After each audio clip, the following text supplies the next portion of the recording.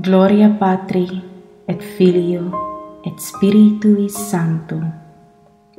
Sicut erat in principio et nunc et semper et in saecula saeculorum. Amen. Gloria Patri et Filio et Spiritui Sancto. Sicut erat in principio et nunc et semper et in saecula saeculorum. Amen.